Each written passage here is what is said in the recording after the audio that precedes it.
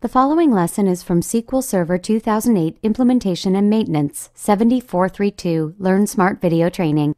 To find out how you can get unlimited access to our entire LearnSmart Video Training library, call 1 800 418 6789.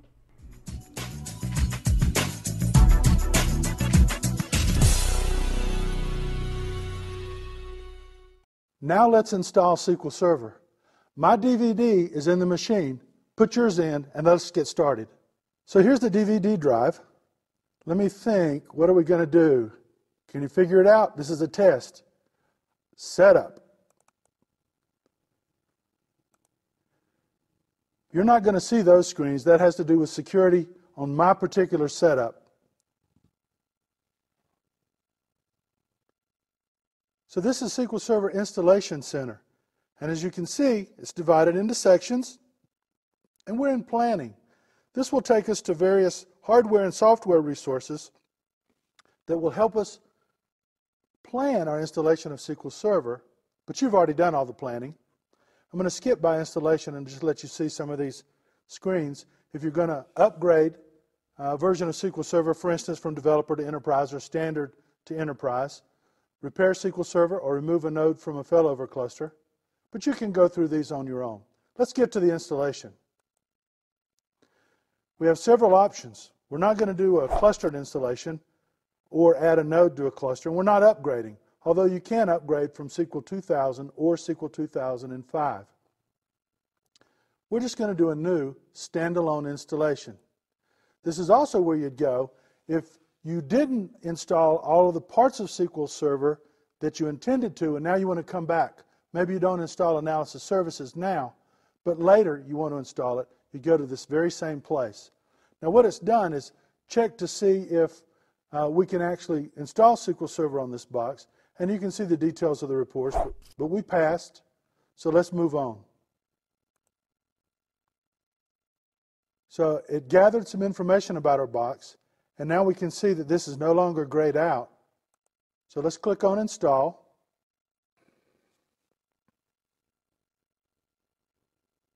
What it's done now is check some rules. These rules are intended to let us know whether or not the SQL Server install will likely work. And you see we're green everywhere past with a warning. The warning is on this particular warning, Windows Firewall, is just going to tell us that there's a, a firewall turned on on this server, that we need to ensure that the proper ports are open if we want people to get at SQL Server through the firewall. So we'll just click Next.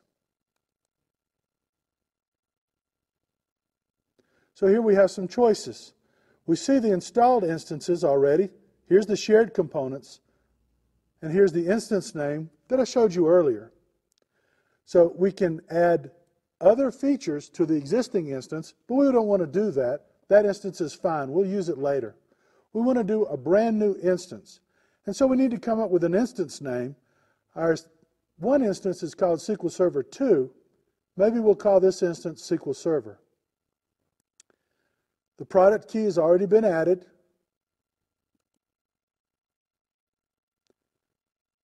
Here you're required to read the terms of the license. Well, you're not actually required to read the terms, although I would. You're just required to accept the terms. So here's the list of things that we can install. Notice that these shared features are grayed out. They're grayed out because we already have an instance of SQL Server 2008 installed on these box. So these things were already installed. If this is the first time you've done an install of SQL Server on this box, you would be allowed to check which of these things you wish to install. Now we want to get the database engine, and we're going to look at replication, so let's go ahead and install that now. And we need to configure full text search. I'll show you that soon. We're not going to do anything with analysis services. But let's go ahead and install reporting services as well.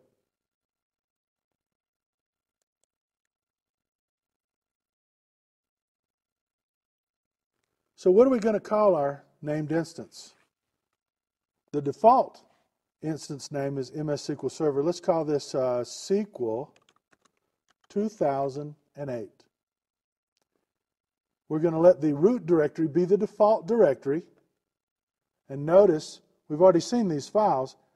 The folder that SQL Server will be MS SQL 10 dot and then the instance name, and we chose SQL 2008. Notice that we're trying to install the Enterprise Edition, and it has the features and then the version number. So we're good to go. So do we have enough disk space? Looks like we do. Service accounts. We spent a lot of time talking about service accounts. Here's where you set those accounts up. For SQL Server Agent, I'm going to browse and find a login.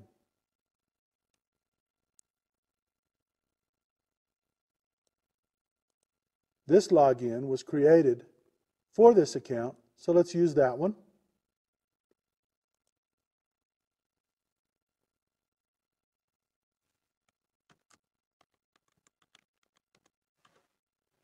And will SQL Server Agent start up automatically or manually? Let's have this one be automatic.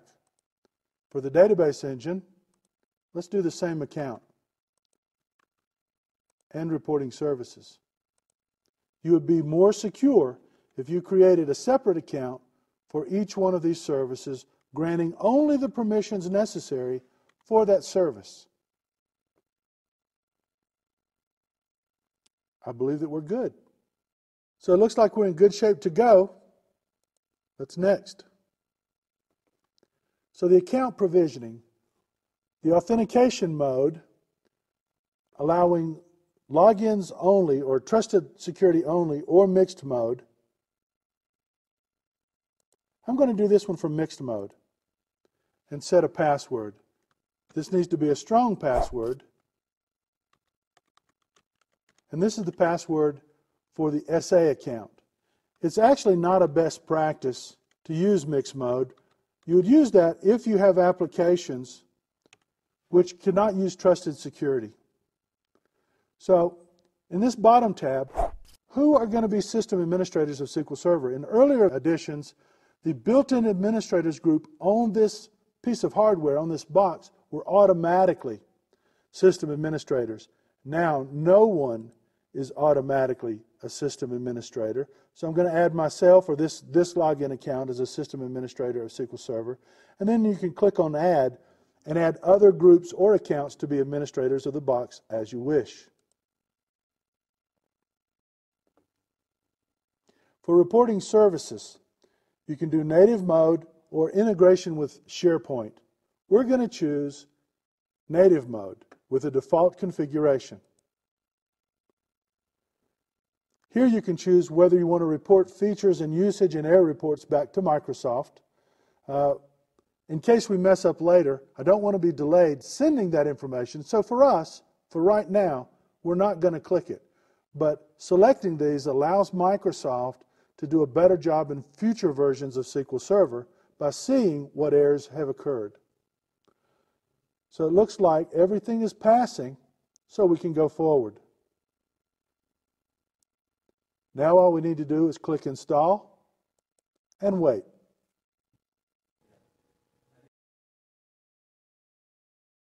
I bet you're feeling pretty good right now, aren't you? Well, you should. You've done a whole day's work and it only took you a couple of minutes. You see, SQL Server is not that hard. So you started down the path and you know you're going to be successful. So don't worry about it. Let's just keep going. Now that we've installed SQL Server, we actually have two instances.